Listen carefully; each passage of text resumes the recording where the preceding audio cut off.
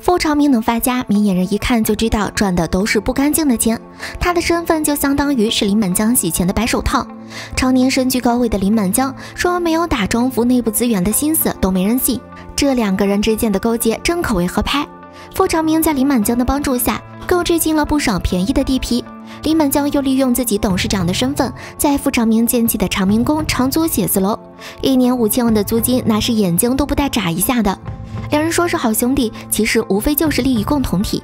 这个社会就是因利而聚，能维持两人一直以来的关系，甚至让傅长明送出一架私人飞机给林满江，说是打江山积累下来的友情，都有些搞笑。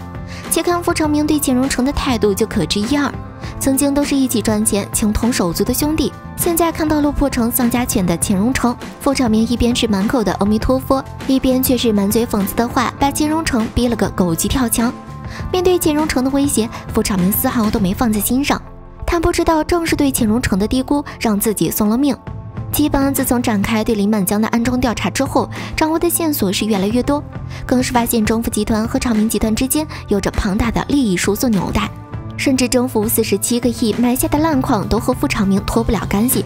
看着齐本安现在的破竹之势，李满江只觉得一阵后怕。昔日的师兄弟情分，顶多让自己保齐本安一条命罢了。只要肯缄口不言，林满江也愿意考虑放掉齐本安。可让林满江万万没想到的是，傅长明的死讯传到了自己耳朵中。相比失去这位老朋友的难过，林满江更害怕的是自己曾经犯下的罪行暴露。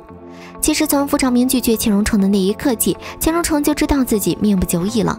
看似幸福的傅长明最是心狠手辣，只要自己不先下手为强，必然落得个凄惨下场。就利用最后一次见面为借口，一刀刺死了高高在上的傅长明，然后当即去公安机关自首。